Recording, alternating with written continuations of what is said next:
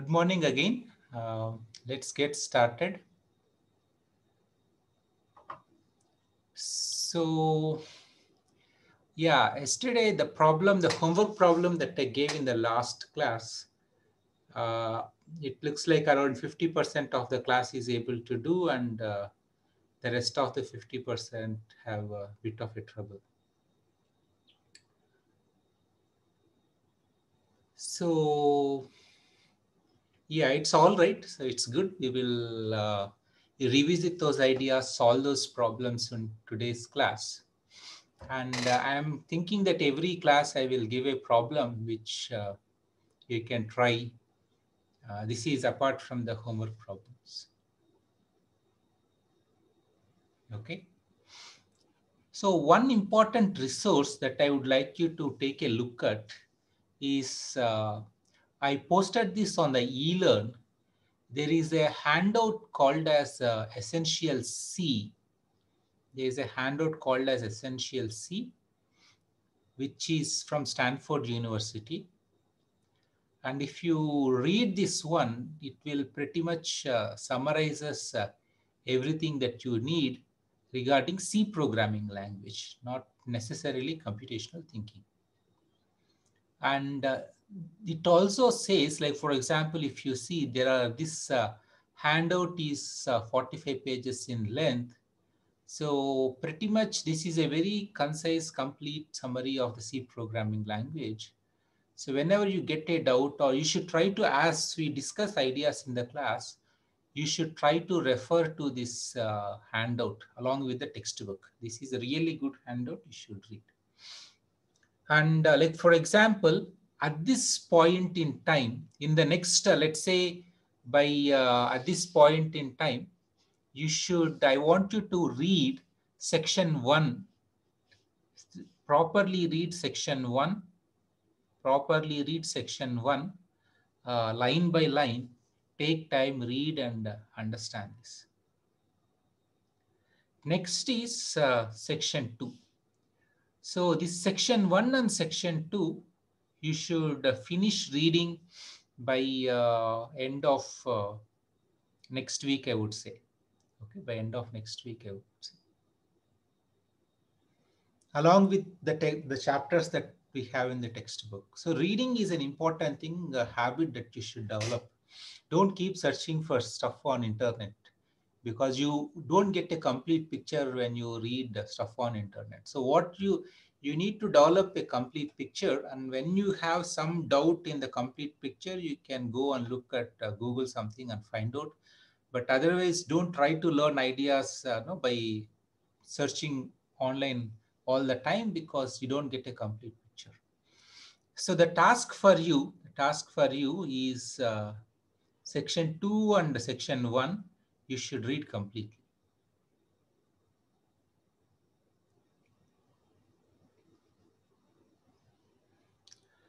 Uh, yeah, so so now let's go to uh, let's go to this is posted on the eLearn website. It is already posted on the eLearn website.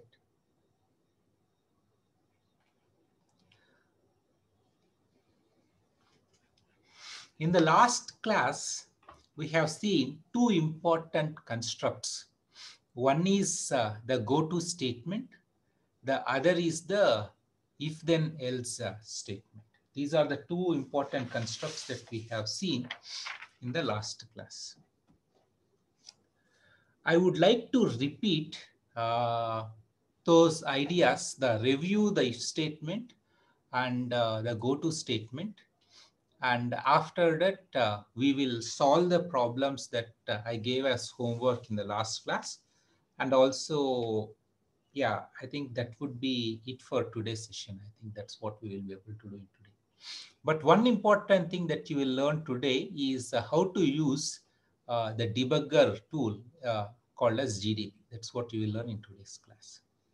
All right, let's get started. So let's take uh, this program, extremely simple program, straight.c. So here, so in all the programs that you have seen, except if you leave the uh, yes. So what do you do? So like, for example, if you have int i, so there is a data type called as there's uh, uh, we are declaring a variable i and we are declaring its type as uh, integer i. So one thing again, if you quickly want to know what are all the data types that are available in uh, C programming language, you know, there are what are called as primitive data types and what are called as user defined data types.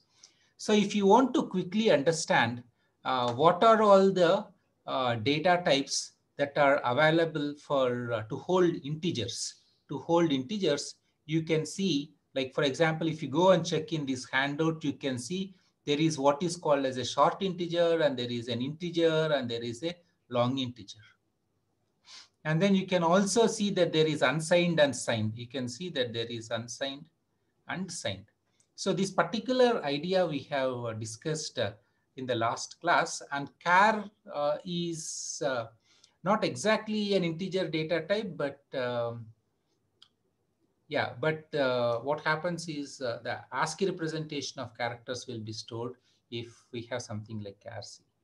So anyway, so leave this aside. The point is uh, that I'm trying to make is uh, when you get a doubt, this, take this as a kind of a reference manual so that you can quickly go and check Uh, what uh, uh, so, so, what uh, C language actually says about the particular question that you have in mind. So I'm just giving an example on how you can use this as a reference. Good. So now let's go back.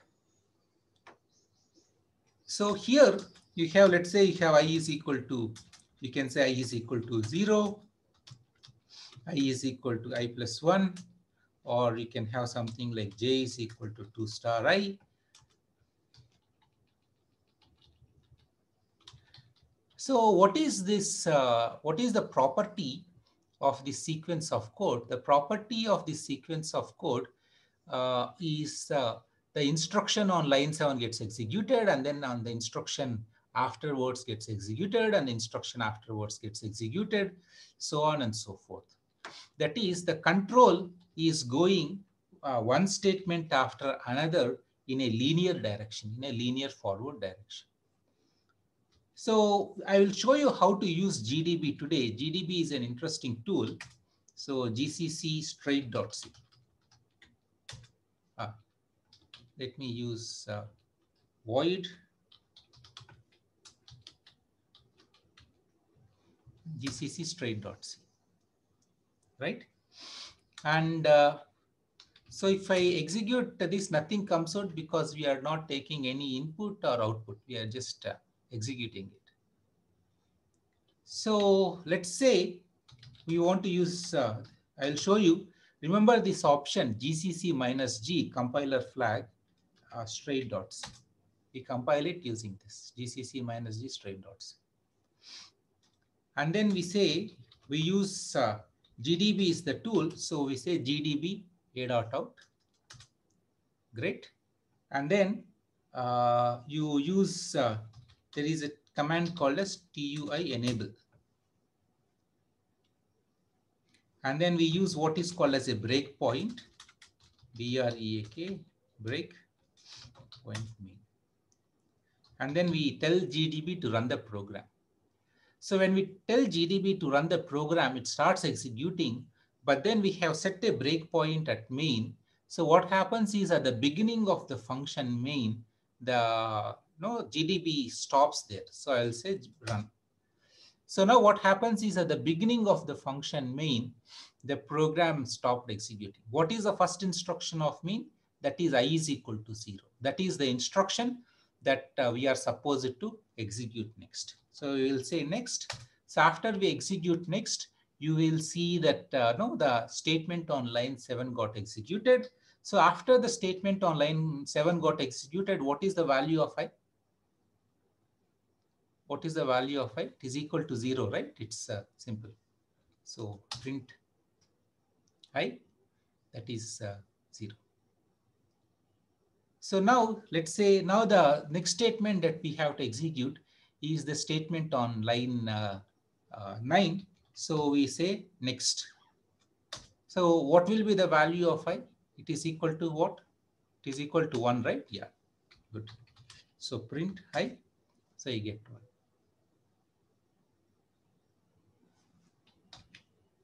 So now, so again, uh, the statement on line 11 needs to be executed. So we say next. So when we do next, so the statement on line 11 got executed. And if we print j, we'll get uh, uh, j is equal to 2. And then when we do next, then we are out of the function main and the program finished executing. Are you all with me on how this is working? How GDB is working? It's a tool. GDB is a debugger tool. It's a very, very important tool which helps you in debugging programs.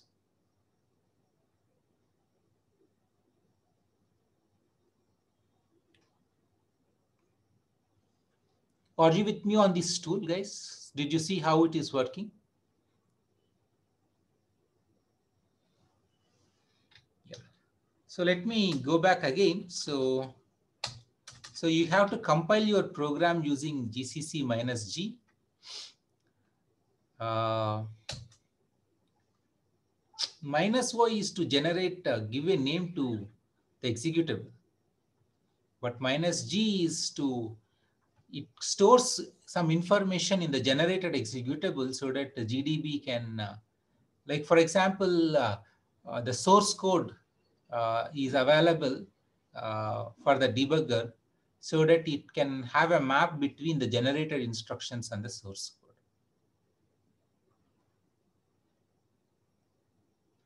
So GCC minus G, this is now the way to do it is GDB a dot out. So let's say you, if you are compiling your program and generating, you are storing the executable in uh, the, when you don't use anything, uh, you know, like uh, we can use. So, uh, so now we are just storing the generated executable in uh, the file named straight. Okay, GCC minus G straight.c uh, minus straight. This is what we are doing.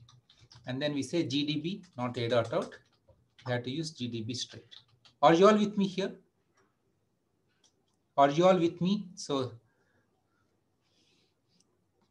I hope you are able to. If you don't use minus G, you cannot uh, debug it. It will be hard. So this is this minus 4 tells instead of writing the executable in a dot out, write it in the file straight.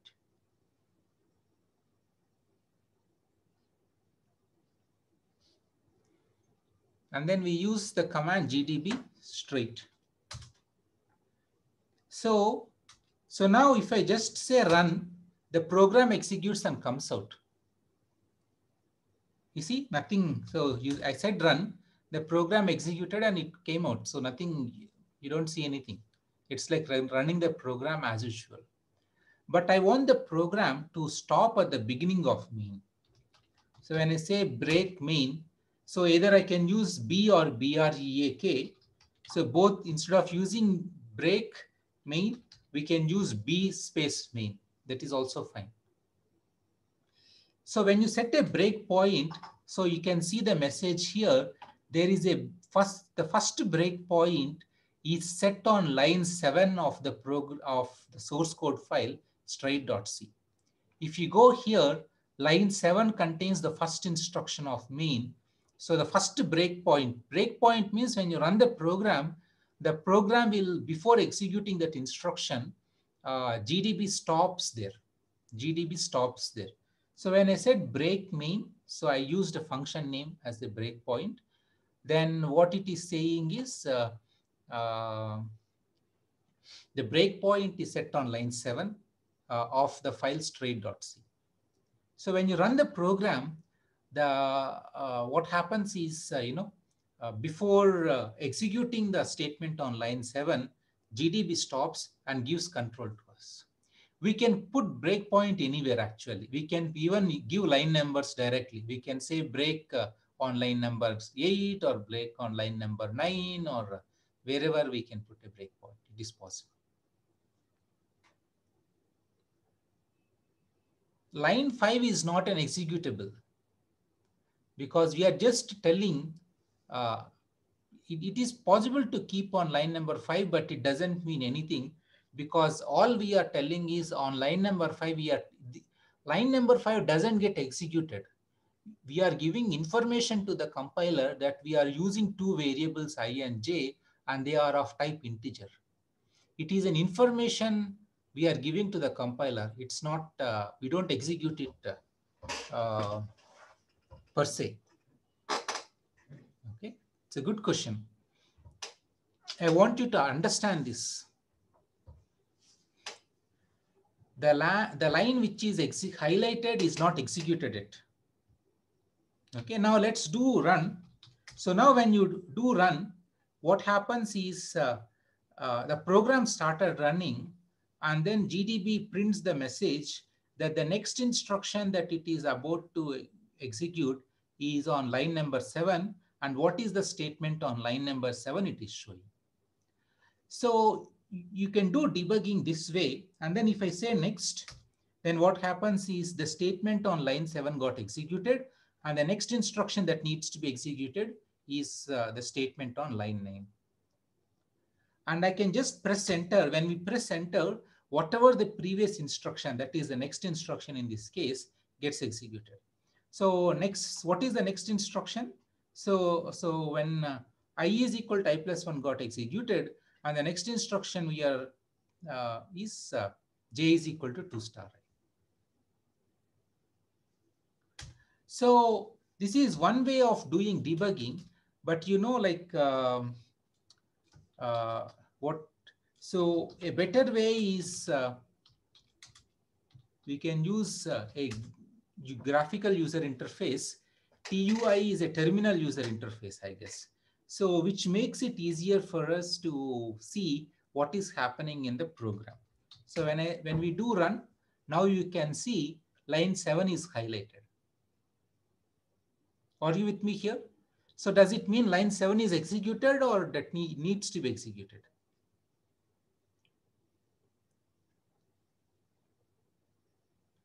Line 7 needs to be executed. It's not yet executed. So now let's look at print type, print j.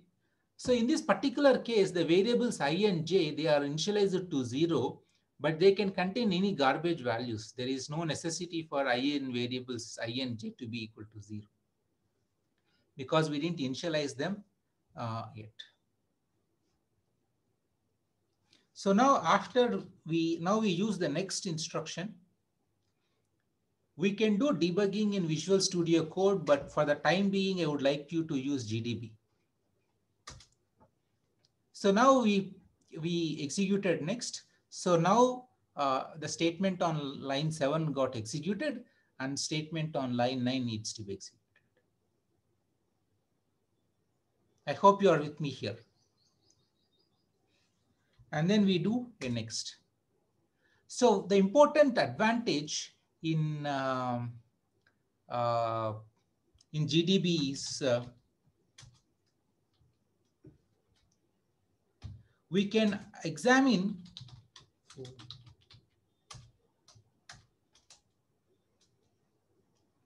Oh, there are a lot more variables. Okay, don't worry.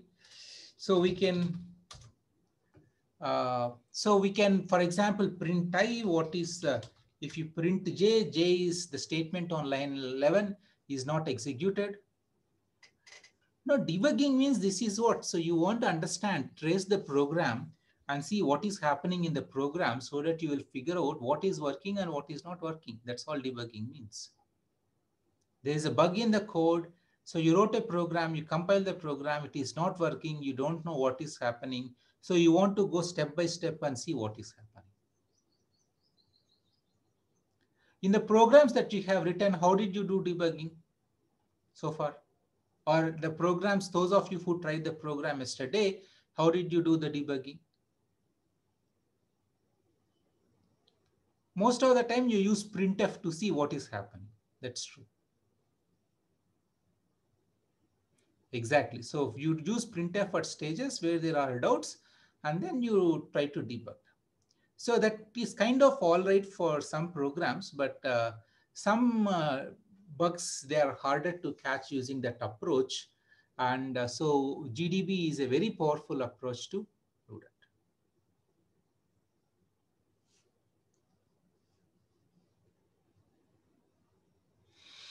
So now let's execute the statement on line 11. So next, and uh, so now line 11 got executed. And if I print j, we see that the value of uh, j is equal to 2. Are you all with me here so far? Today's session, good? Okay. So you can, I think you can use quit to quit from GDB, you're out from GDB. So now, so let's say at the end of statement 12, I have a statement uh, go to uh, L1 and uh, no?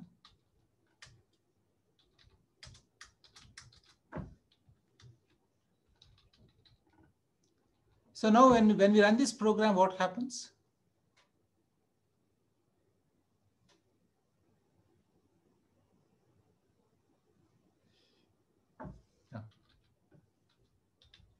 What happens when we run this program?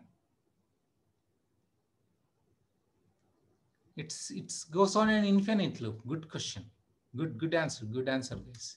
So let's compile this program gcc minus g straight dot c uh, gdb. Uh, let me use the same thing. Straight gdb a dot out break main run TUI enable. So, so you execute the instruction on line uh, 8 and then uh, you execute the instruction on line 11. You execute the instruction uh, on, uh, I did GDB straight only. I, uh, and then uh, you execute the instruction on line 13 so this is what I want you to understand. So what is the semantics of go to L1? That is you go to a statement which is attached to the label L1. So now if I say, so now you are not seeing the next statement, the next on the screen, because I'm just pressing enter. Whenever I press enter, whatever the GDB command that we have given before that gets repeated. So next is the GDB command that we have given before and that gets repeated. So now when we press enter, so control will go back to statement 11 and uh, statement 11 is uh, because uh, the label L1 is associated with the statement 11 uh, uh, in the program. Are you with me here? Are you all with me here? So you keep uh, pressing enter, you keep pressing enter like this keep going forever. This program enters an infinite loop. Are you happy? This is fundamental idea, guys. So if you understand this, then uh, no, then, then you are cool. Very good.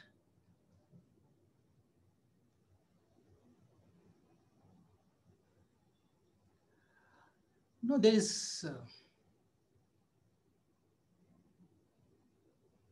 enter is equal to the last command, whatever the last command uh, that we have. Let's say, for example, if I use print i, print i is the last command, right? If I press enter, then what is happening is print i get, got executed again. If I press enter again, print i got executed again. So when I press enter, whatever the last command that is given, it gets uh, repeated.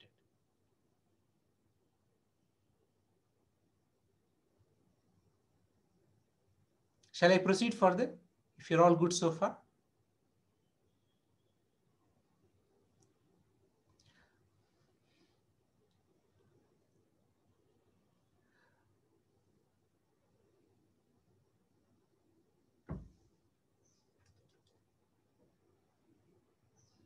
We have iterated 10 times. That's the reason i is equal to 10. So like for example, if I execute it and then if I do print i, it will be equal to 11.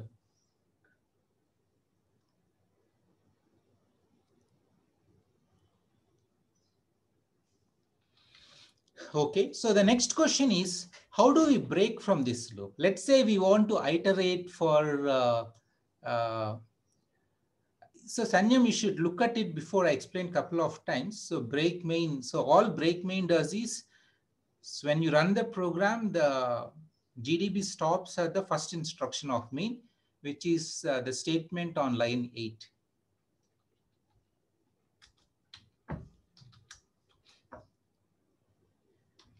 So if I, so now I want to uh, terminate this program after we iterate for uh, 10 times, let's say.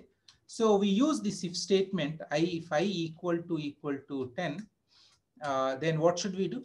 What can we put here?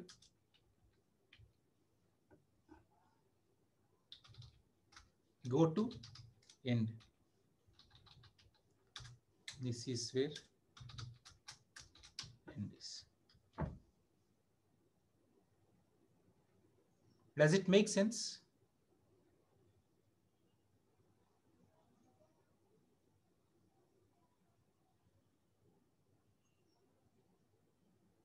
So now at this point, I want to explain the semantics of uh, I, the semantics of the if statement. So I will take this uh, manual. I want you to understand, uh, uh yeah. So so far you have used, you have seen arithmetic operations, expressions involving arithmetic operators. Expressions involving arithmetic operators. Let's see. Yeah.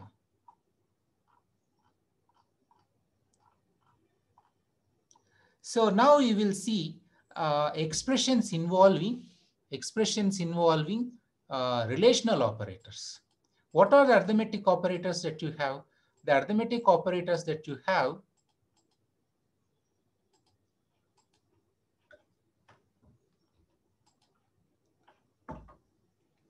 So arithmetic operators, arithmetic operators that we have, uh, uh, like, um, yeah, so, so arithmetic operators, I'm just writing it here on as a side note, arithmetic operators. I'm not making an exhaustive list like you know, addition, subtraction, multiplication, division, and increment operator and decrement operator. These are all arithmetic operators. And then now we have uh, an equal to is an assignment operator. And we have the relational operators here. Uh, so, the, so the relational operators, they work on uh, integers or floating point numbers. And they return either a zero or one as the Boolean value. Like for example, uh, if you write a statement such as a equal to b, and if the, the two variables a and b are uh, equal, then a value one, so there are two possibilities. So this is yes or no. If this is yes, the value written by this uh, expression, relational, uh, this uh, conditional expression, uh, so it will be 1, otherwise it will be equal to 0. Yeah, I don't mean to be exhaustive in this arithmetic operator list. I'm just giving an indication what are all the arithmetic operators. Let's write modulo also. Modulo is not, we cannot use modulo on floating point numbers. Similarly, you can, uh, so if A is not equal to B, so again, so that means the contents of variable A and contents of variable B if they are not equal to each other. Okay, yes, then it returns 1, otherwise it equals to 0. Similarly, greater than, less than, greater than or equal to, less than or equal to. So these are all self-explanatory. We usually use relational operators in, um, so before in, in, if, in if statements. So, so what we do is uh, if some condition, if some expression, actually, this is not even condition, if some expression, then uh, we have some uh, body of the statement. So I will uh, review the, the, the, what, what do you say? The syntax of if statement, syntax and semantics of if statement in a moment. But one thing you should uh, understand is uh, if you, instead of using equal to equal to, if you use equal to, okay, this is the pitfall. If you do something like A equal to B, then uh, you're not checking whether A is equal to B, you're assigning B to A. Sometimes this will kind of get into trouble. If you see the statement here, if X is equal to 3, what happens is, uh, will this condition turns out to be true or false? This condition turns out to be true because in C, this expression, if it turns, if it is a non-zero value, then any non-zero value is true and uh, false is uh, only zero. So here, if you see this expression, this assignment expression, uh, this assignment expression x is equal to 3, so you know x is equal to 3, it is an assignment expression and the value of this whole expression is 3. This is bit of a tricky thing to understand because uh, the so there are two things that happen here when we do x is equal to 3. One is the way the contents of the variable x will be assigned uh, the value 3. The second is this whole expression returns a value 3, but usually that value gets ignored because on a single line, when we just use, say, have the statement i is equal to 1, uh, the whole uh, expression statement, it returns 1, but we ignore it, we don't use it. But the second thing that happens is the contents of the variable i gets changed. It will be made equal to 1. So I, I will revisit this idea in a moment. So let's go down and see. I want to use this manual and explain so that it will be easy for you to read this manual later on. Yeah. So I want you to uh, pay attention to this. What is the format of an if statement? So if expression, a statement. This statement, uh, so you know when you talk of statements, there are uh, simple statements and uh, block statements. So like for example, it is possible for us. So if you have something like, uh, no, i is equal to 1, it can be one statement, but it is possible for us to group blocks of statements using left and right uh, parentheses. Okay. So this whole thing, this using not parentheses, these are called as left uh, flower bracket and right flower bracket. The whole thing, this becomes what is called as a block statement. So if you see the if statements uh, syntax, uh, if you see if statement syntax, so if if expression uh, followed by a statement. This statement can be a single statement or it can be a block statement. This statement can be a single statement or a block statement. And there are two forms of, is, of if. One is uh, the only if statement with no else and other is if statement with else. So these are the two forms of if, form 1 without else and form 2 with else. And if you see the body of the if statement, if or else part, they can be block statements or simple statements that is only one statement. And the important thing here is this expression can be, it need not be relational expression, that is an expression involving, you know, A greater than or equal to B. It can be any expression. Uh, and if the value of the expression turns out to be non-zero, then it is true. And if the value of the expression is zero, then it is false. Are you all with me here so far?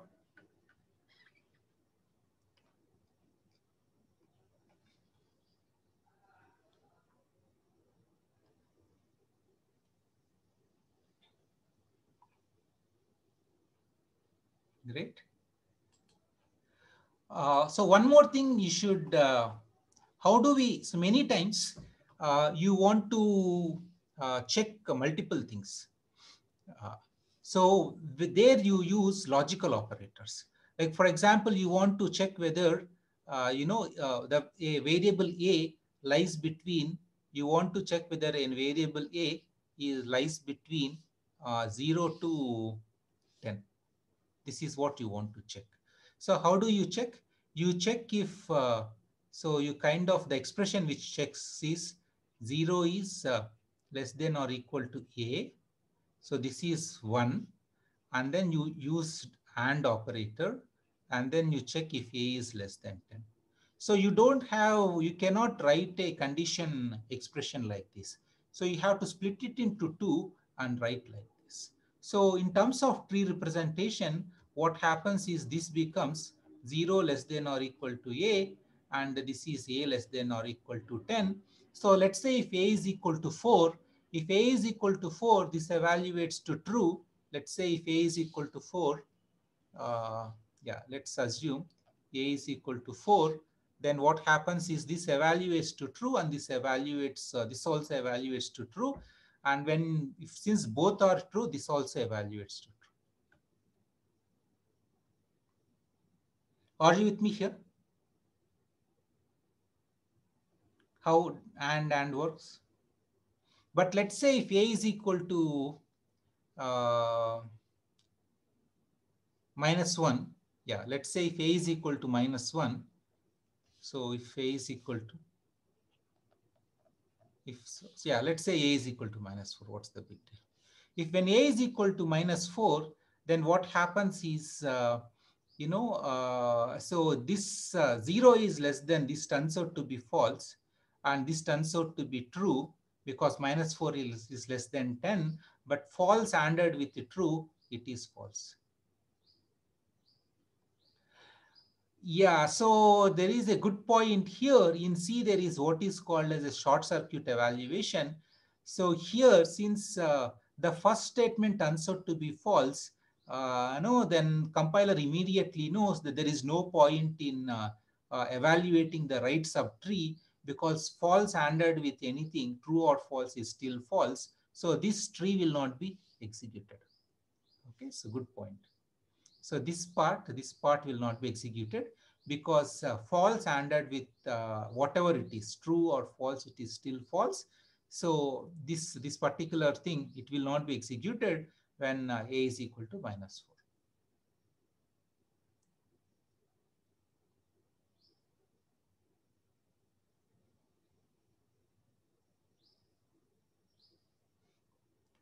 I hope you are all tagging along with me so far.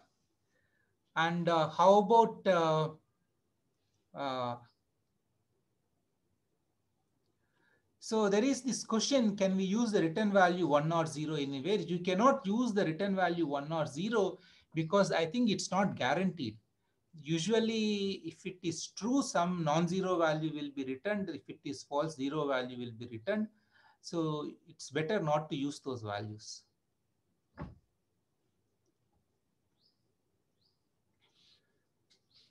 So how about this? If it is 0 less than or equal to, yeah. Let's try to do the same, but with uh, the, the OR operator.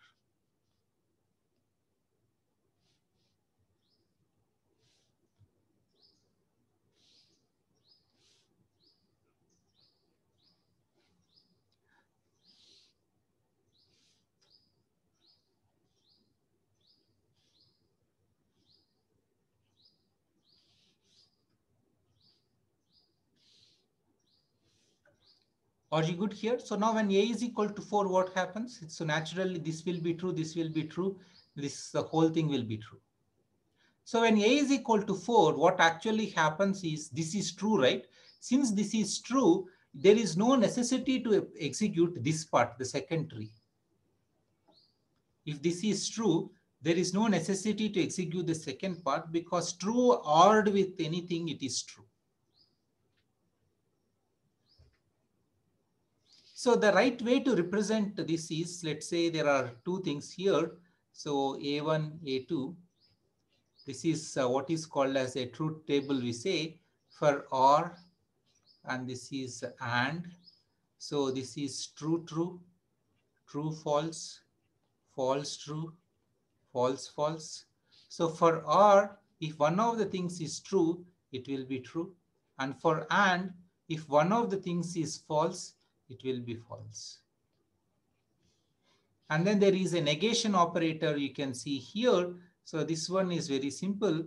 So if it is uh, true, false, If you apply negation of this, this will be false and true.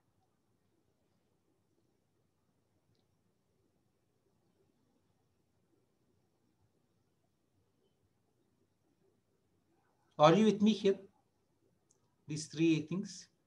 And there is this idea of short circuit evaluation. What is short circuit? Uh, like for example, if A is equal to 4, then this is true, right? If this is true, true ORed with whatever it is, it is true. So the compiler, no, so this part wouldn't be executed at all if A is equal to 4. But on the contrary, if A is equal to minus 4, uh, then this turns out to be false. And because of that, the second part will be executed.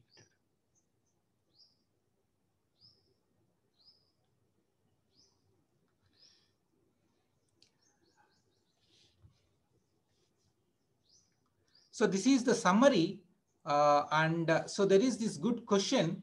So let's say there is one expression E1 ANDed with expression E2 ORed with expression E3. So we, I think the, in terms of this depends upon the precedence. In terms of the precedence, I think, uh, uh, so it depends upon how things work out.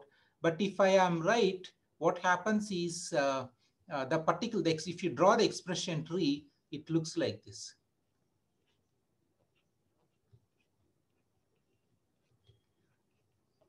So now when you draw the expression tree, so now once you draw this, now you can explain what happens. If this is true, will this be executed? The second part E2 will be executed. Yes or no, if this is true, right? Yeah, it will be executed because unless this is true, but on the contrary, if this is false, will the second part be executed? No, as simple as that. And now if you if if this is true, then will E3 be executed? No. No, if this is true, E3 will not be executed because true ORed with whatever it is, it is true.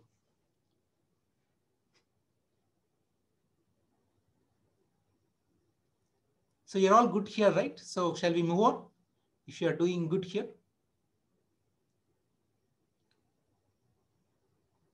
Good question, Narayana.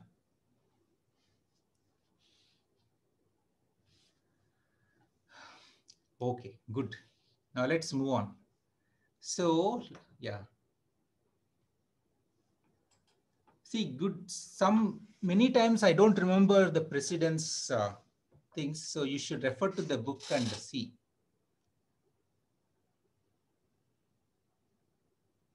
Yeah. Okay, good. So let's go back to the program that we are working with. So this is the program that we are working with. Uh, so we compile this, we come out of this and we write this code, compile this code gcc minus g. Yeah, okay. So here I think at the end we need to put a null statement, otherwise uh, it wouldn't work. Yeah, now it works. See on line number 20, I put a null statement.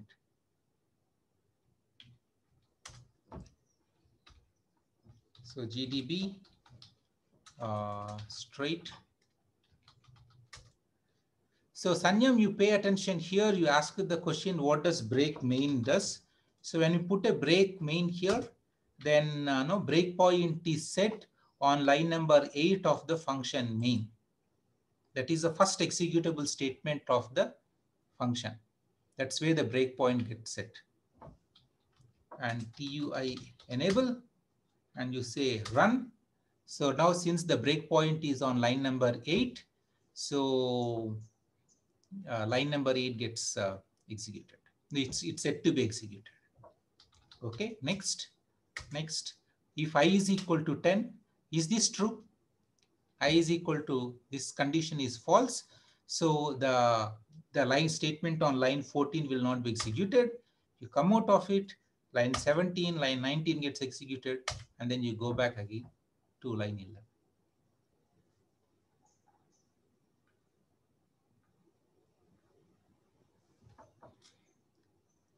I think you should uh, stop worrying about no that uh, or and and and all those things. You just have to refer to the textbook which clear which specifies the rules. You should need you need to get the big picture and for the details you need to look at the book or the manuals to see exactly the semantics.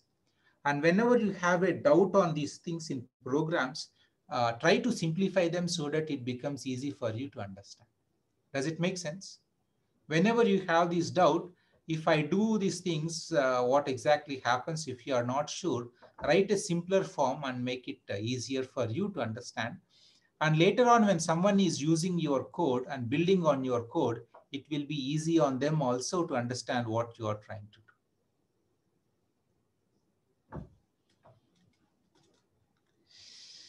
So it, it, keeps going like this. It keeps uh, going like this. And uh, let's see what shall Yeah.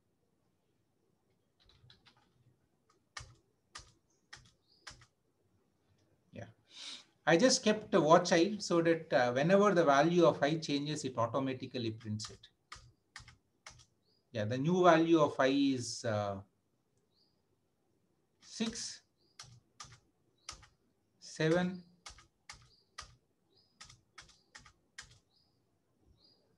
So the current value of i is 9. As you can see that uh, no, that new value is equal to 9. So this condition will still be false. You come out and you come here. And now i is equal to 10. What happens since i is equal to 10? Where will the control go to? Line 14, not to end. No, no, you should not say end. The control transfers to line 14 in the block statement. End is wrong, guys. End is, it doesn't go to end. It goes to line 14. And on line 14, there is a go to statement which transfers control to line 20. That is the end. Did you completely understand this program? You're all happy now? You understand how to use GDB. You understand how if statements work. You understand how goto works. And you understand how to use the watch point Using watch point is also very important. So because otherwise every time you have to print what is the current value of i. Did you notice that if I, if I didn't keep a, a watch point uh, on uh, watch on i, then uh, we have to, we don't know like whether the value of i is equal to 9 or 8 or 10, we have to manually keep track of that. So instead we just said watch i. So because of that, whenever the value of i gets changed, it gets printed so we know where we are in the loop. We cannot edit the code in GDB. It's not possible.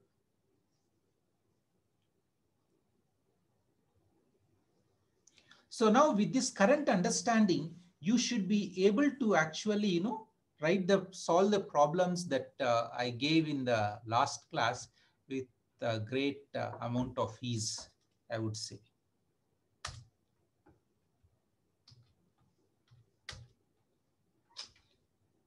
Yeah, so now let's try to solve the problems from the last. Uh, so what is the first problem from the, let's take the simplest problem. I will take, uh, yeah, maybe even uh, more than that, I'll just use, uh, let's say I want to compute the sum of first n numbers. This is uh, compute sigma. What the problem that we would like to solve is this. Sigma i is equal to 1 to n i. This is what we would like to solve. This is much more easier than the problem that we have taken up uh, last class. As so printf enter n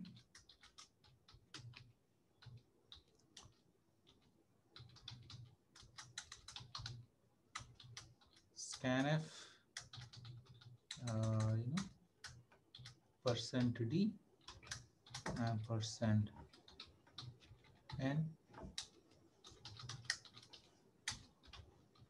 How do we write the program?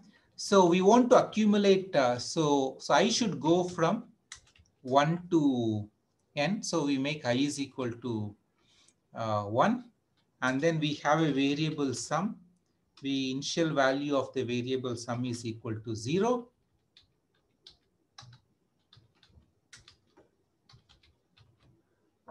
initial value of. So now what we do is uh, we check if, uh, so what is the condition we should be checking here? If i is greater than or equal greater than uh, n, then you should go to end. If i is greater than n, we should go to end. And actually, in order to make my point clear, we don't need a block statement here because there is only one statement uh, in. So if i is greater than n, go to end. And what do we do at end? So we at the end we say sum of uh, first percent d numbers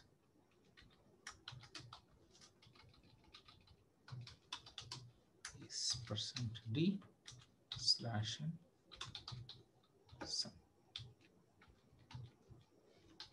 And what is the statement on line 18? What is the statement on line 18? Sum plus is equal to i. So you know on line 18, sum plus is equal to, this is nothing but sum is equal to sum plus. This, this is nothing but sum is equal to sum plus. This is a shorthand for it.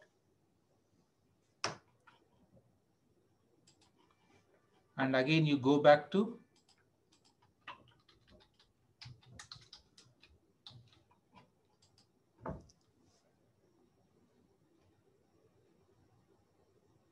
huh, i is equal to i plus 1 thank you lavisha. So finally you have to do i is equal to i plus 1 you're all good? Does it make sense this whole program? Will it work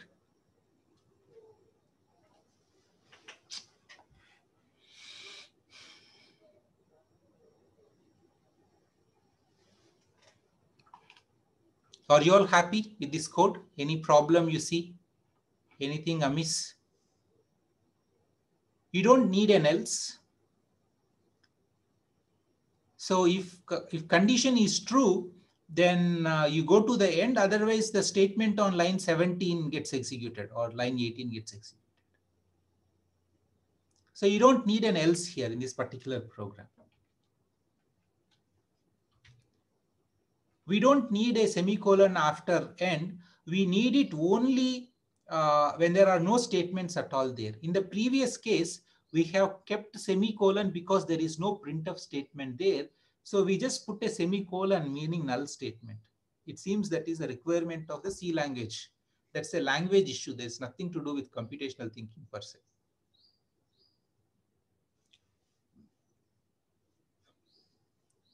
So I want you to have this distinction in your mind. What is a language issue and what is a, you know, real problem? Uh, so the, what is computational thinking? What is the algorithm? What is the logic versus the language issue? So here, like for example, in straight.c, I kept a semicolon on line 20 because there is no statement and C language requires that uh, uh, at least some statement should be there. And it seems if we have uh, just put semicolon, it is what is called as a null statement. This is what is called as a null statement. So this is a language issue. This is a language nuance, C language nuance. Nothing to do with computational thinking per se.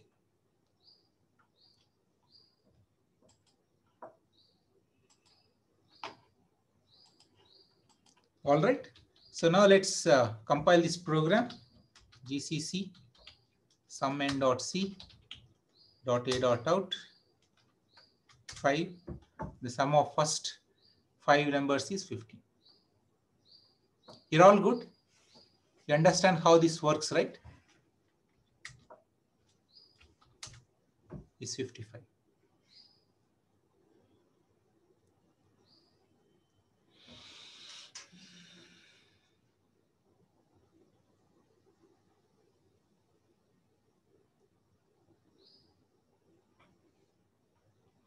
So now let's try to, uh, yeah, so now let's try to do a slightly little bit more complex problem that is max.c.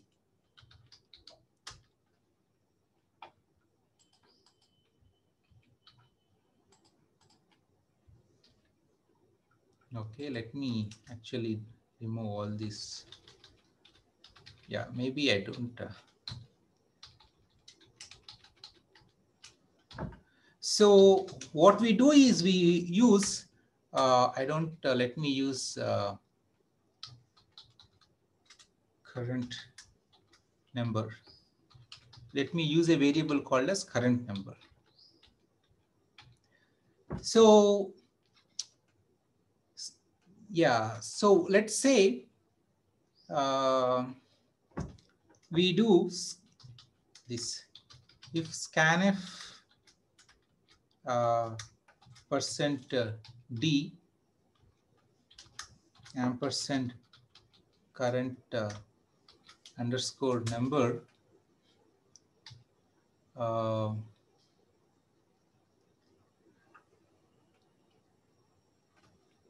is equal to is not equal to end of file.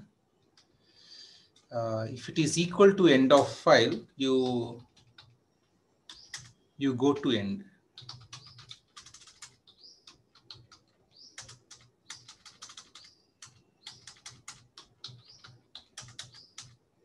Otherwise, printf entered.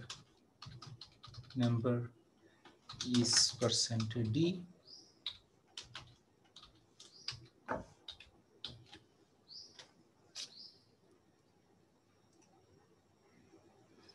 So I have to see actually whether this works. Uh, current. Let's see what happens.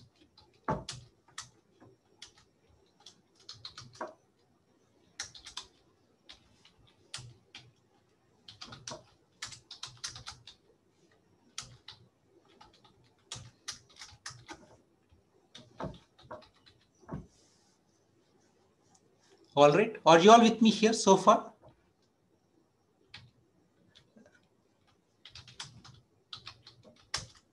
I just want to check one thing about scanf.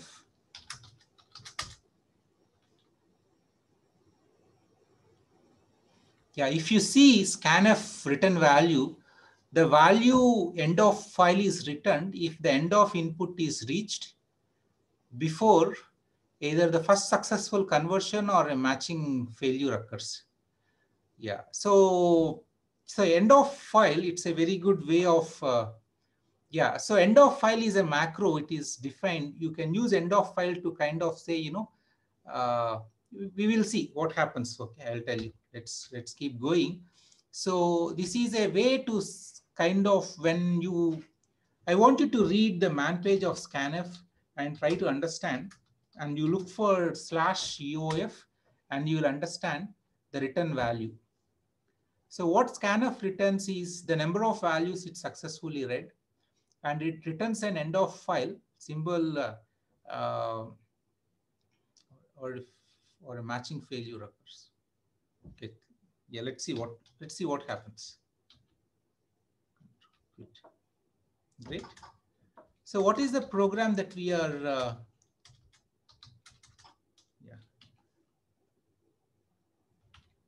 So GCC. So, so GCC max.c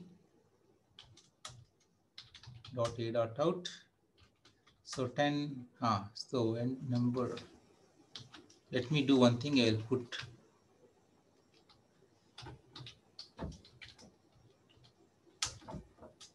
I'll take 10 more minutes and finish this. Maybe by 11.15, I will conclude today's lecture, okay? So 10, this is just setting up the stage for you. And then in order to finish this, I can just press Control D once I enter the list of numbers. Or this also kind of works if we enter something like, for example, if I enter, what if I entered A?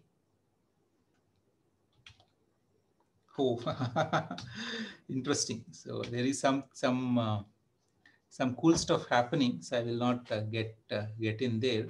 But in order to terminate the list of numbers, if you just press Control D, then what happens is uh, you know you come out of uh, this condition will be true, uh, becomes true and the statement on line 9 gets executed and go to line 50.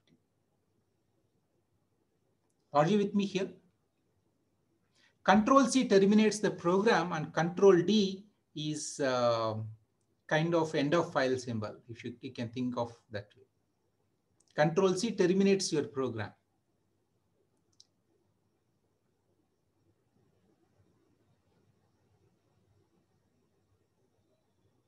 Are you all with me so far? This, but at least this much logic, are you with me?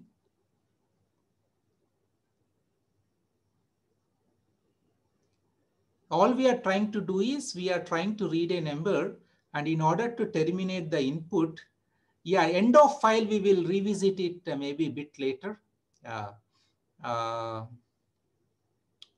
an alternate way to take care of it instead of end of file is uh, this is one way of doing it, but I will tell you a different way. But I will tell you a different way, which is more easier for you to understand at this point in time. Can you not write the code here, guys? It's who, who did this? Yeah, this is Hardik. You're missing the point. There is a lecture that is going on.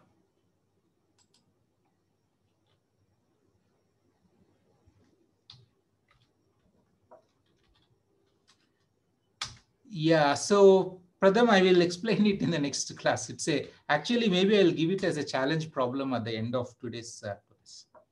So what if instead of doing this, we will do uh, if it is not equal to one, go to end.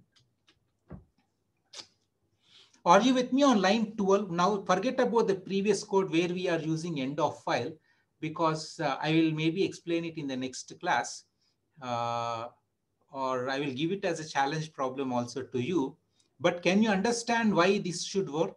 Line 12 and 13. What is the return value of scanf? What is the return value of scanf?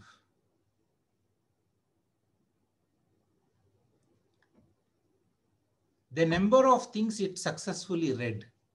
The number of inputs it successfully read, not zero or one. In this particular case, if it reads uh, an integer successfully, it returns one. And if it is not able to read an integer successfully, it returns a value other than one. In this case, in that case, it will give a zero. Okay, let's do this. Control C, GCC max.c. So now 10, 20, 30. So minus 1, 0, whatever it is, it is just reading. But let's say if, it, I, if I enter A, then what happens is scanf tries to read uh, an integer from the keyboard buffer and it encounters A and it knows that it cannot uh, map A to an integer. And so it returns failure that uh, saying that I am not able to return any integer. And in, in fact, it returns zero because uh, it's not able to return any, uh, uh, it, it's not able to read a integer from the keyboard buffer in which case we go to the end. Does it make sense? Are you with me here? So now it works with control D also it works. So if I press control D, control D also works because control D also scanf cannot translate control D to an integer. So on line number 12, it returns a zero. And when it returns a zero, we go to the end. I hope you're all with me here. Everyone with me here? Happy? If, if someone has a problem, you can send me a message. Uh, it can map, but it's not the right thing to do. It's privately, if you're if you're not sure, you can send me a message privately also. All right.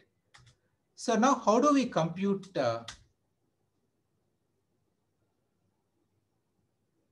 when we give A as input, in the keyboard buffer, you should have understood uh, in the in the discussion on scanf.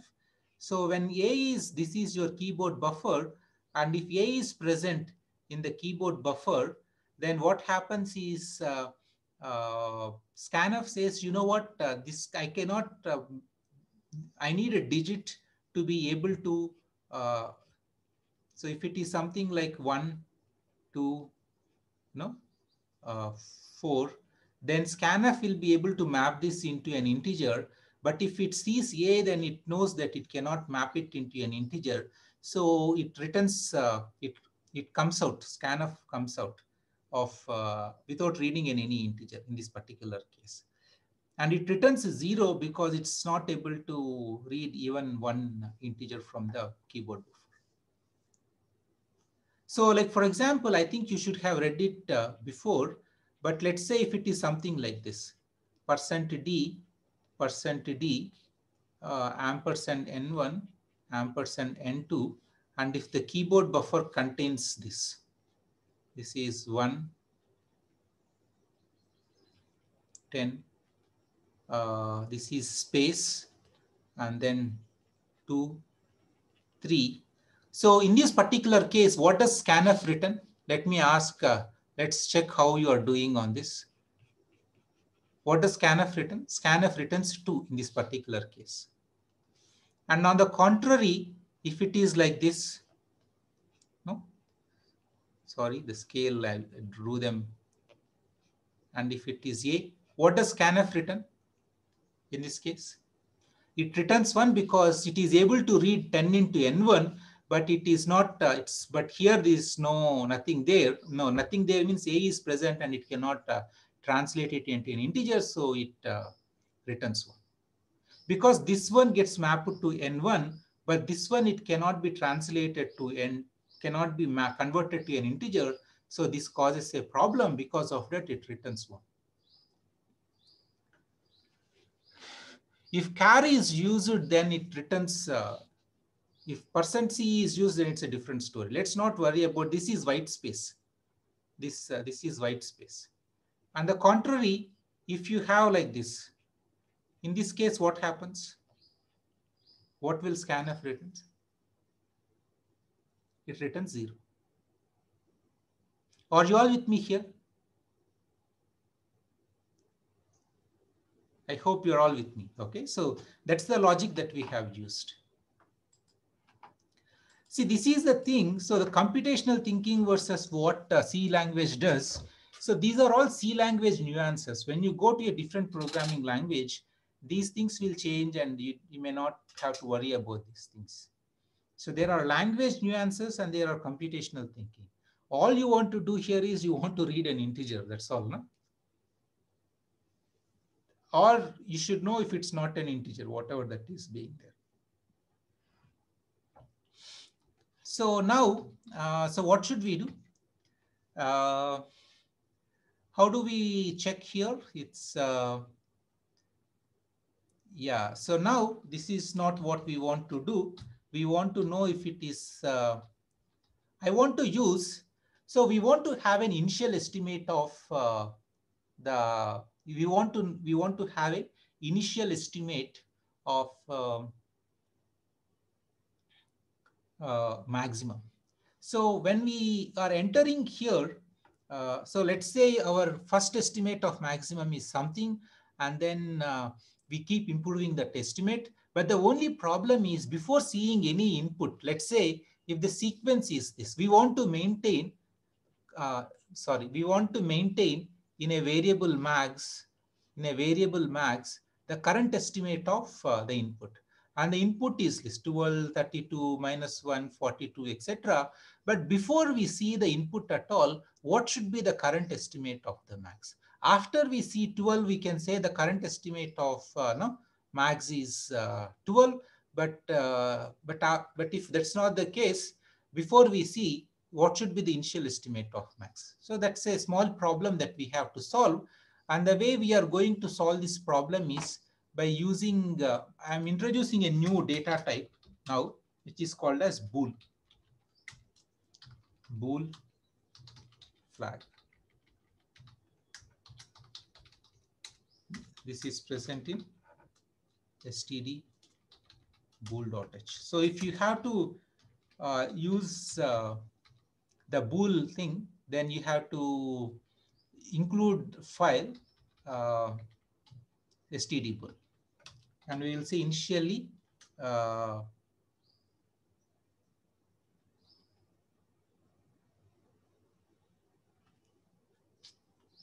Yeah, so if bool is equal to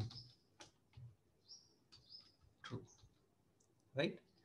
And then so here what we do is uh, if uh, flag is equal to true, yeah, let me, in order to make it uh, maybe init underscore flag, if initial flag is equal to true, what we do is uh, we have something like uh, max is equal to current underscore name. And then we say init underscore flag is equal to false.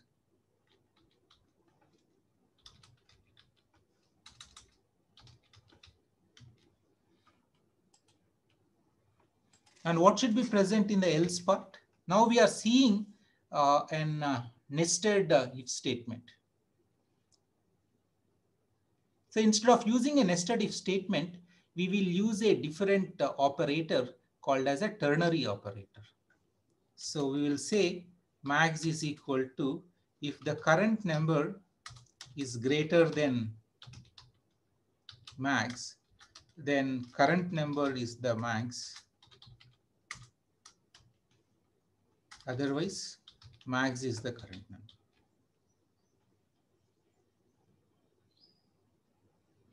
Are you with me here? On line 22, this is what again I want you to go back to this document and show you the ternary operator.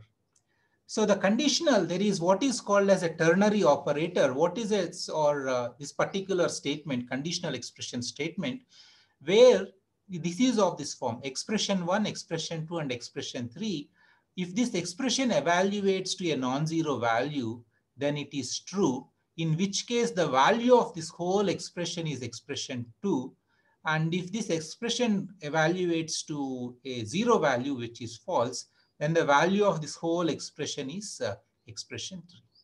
In other words, this is equivalent to, this is equivalent to if uh, even if E1, uh, this is like uh, E2, else uh,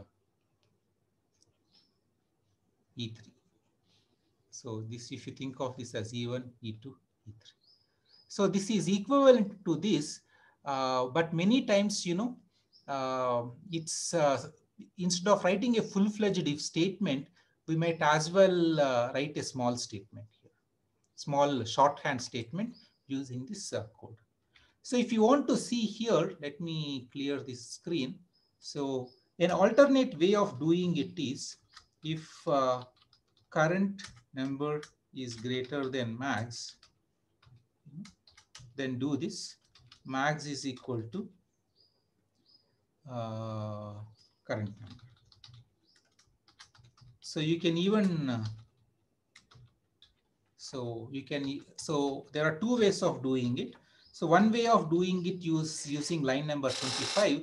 The other way of doing it is uh, what we have on uh, line number uh, line numbers 22 to 24. This is what is called as a nested if statement. So we have a statement, if statement in the else part of the if statement. Are you with me here? Do you understand the 25 and uh, line numbers 22 to 24? I hope all of you are with me. Can you send me a message privately if it's not clear?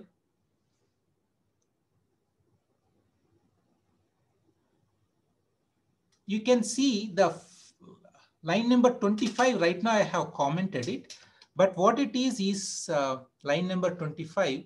So if this, this is one expression, if this expression is true, if this expression is true, if this expression is true, then the value that is returned, the, the value that will be assigned to max will be uh, current underscore number. Yes or no? Because we are improving the current estimate.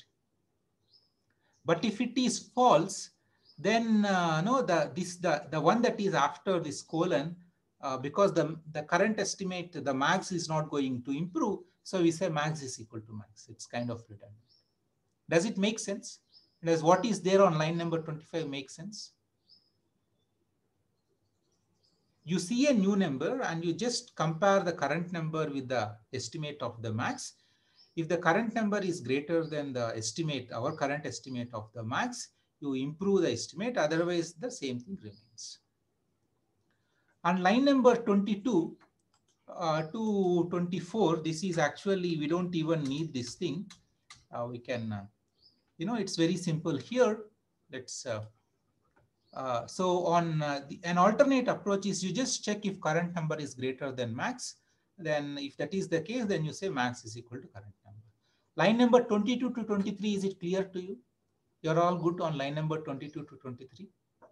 I hope it is. And the question is, what is the purpose of init underscore flag?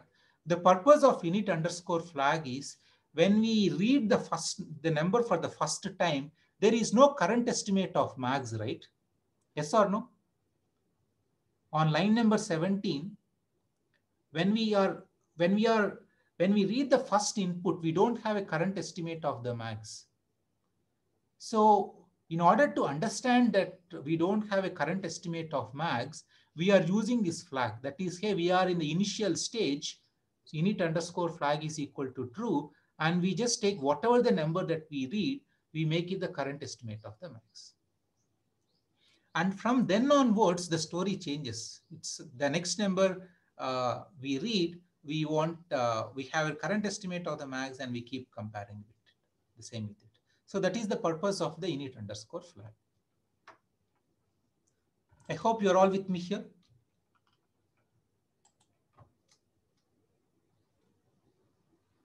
We don't init underscore flag, it is we initialize it to true. So we don't need to write it to true on line number 17.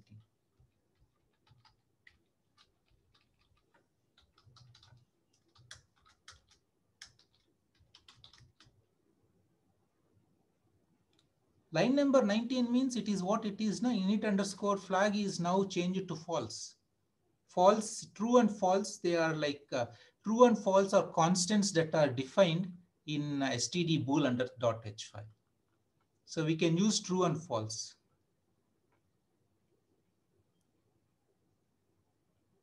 No, what do you mean? Maximum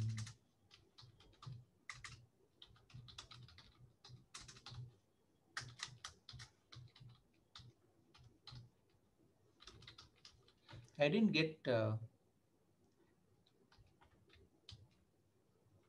Yeah, this is same as uh, init underscore flag. It is same as equal to equal to true.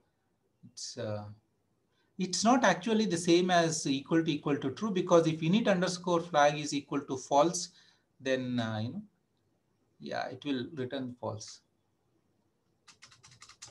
Okay, this is good.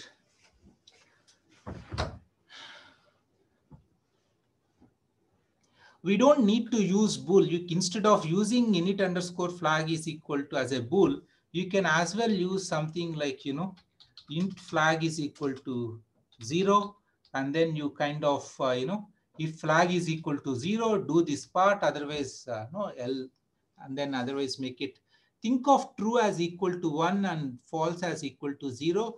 And this is more, this is a much more nice way to write the program.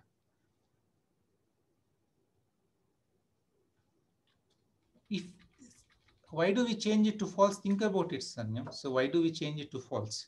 Because next time when we read the number, we don't need to look at the if part because we have a current estimate of the max. We want to compare the current number with the estimate of the max that we have.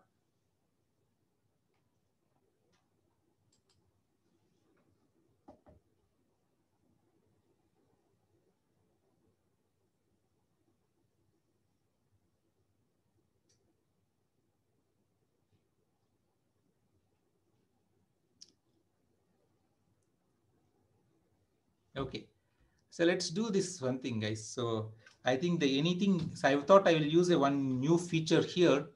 It will, uh, if it's going to make a mess of your lives, then let's not uh, use this.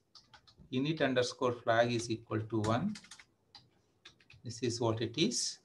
If init underscore flag is equal to one, then make it equal to zero So initially when we are, uh, when we set up the system, we have to bootstrap the system. That init underscore flag tells whether we are bootstrapping or not.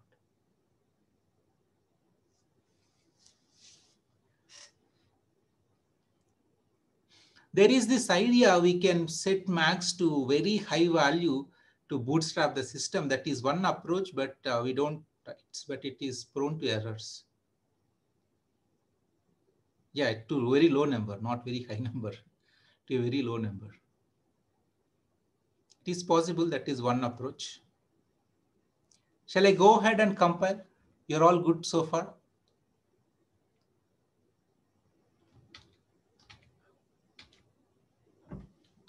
gcc max.c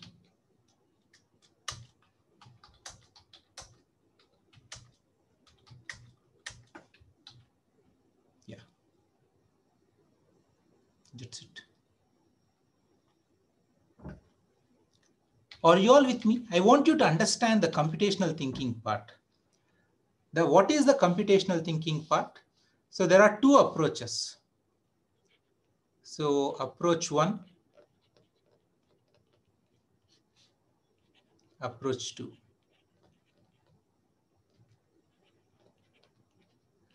So let's say in, in, in one approach, our when you start the system, when you start the system, you set max to very low value.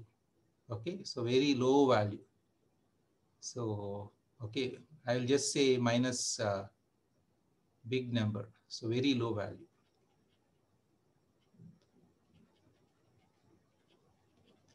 And then as you keep reading new numbers, so you read the first number n1, you check if n1 is greater than uh, no, then max. And if it is uh, greater than max, then that becomes the new. So like that, you keep improving the current estimate of the max.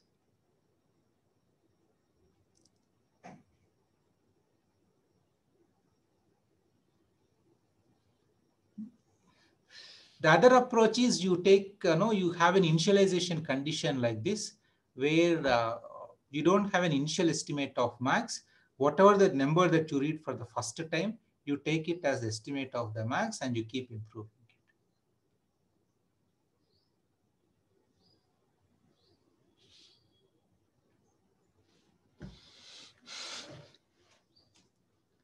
So let's do this. If you want to write this in the form of a table, so let's say this is uh, uh, the value of max and uh, this is uh, Cn and this is uh, the iteration. So let's say in i is equal to 0, uh, so I will put, so we don't have an estimate of max here let's say we read uh, the first number that we read, Cn is the current number. The first number that we read is 10. So, so what happens is uh, we have to propagate this uh, up here to 10. And let's say after that you read 20 in iteration 2, you compare 20 with 10, 20 is greater than 10. So max becomes 10. In iteration i is equal to 3, this is equal to minus 1 you compare minus 1 with 20. So 20 is greater. So you just keep 20 here. In iteration 4, you have this is equal to 40. You compare uh, 40 with uh, 20 and 40 is greater than 20. So this becomes 40. This is in iteration 5. You keep going like that. The problem, the bootstrapping problem is when we start, we don't have a current estimate of the max here. So that's what there are two ways to take care of this. And we have one way is set max to an extremely low value, the lowest possible value, but it is prone to errors. But other nicer way is to do like this. Do you understand this table, guys? I'm just maybe overdoing it. okay. So now with this as the base, will you go ahead and try to solve then the same problems which I have given? Some of you are not able to do it. 50% of the class is not able to do it. Can you go ahead and try to solve the problems? I hope uh, uh, You should be able to. There is one more thing that I want to show which before we kind of uh, stop is, uh, let's say,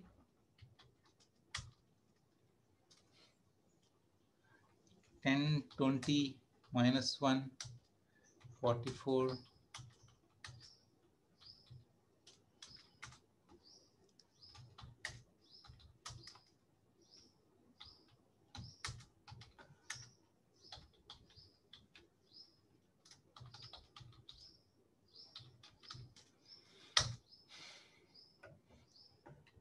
Yeah, I will share the code. I will actually use a GitHub thing. And uh, so now uh, one thing that you can do is you can use what is called as an indirection operator. And I can just say dot a dot out less than input dot text. Then uh, no, the numbers from the file will be read and the max will be given. So this way you don't keep on entering the input on the screen all the time. You can just enter it in the text and then use this redirection operator less than and then uh, it reads one uh, number at a time and it's as if the same as you enter things on the keyboard.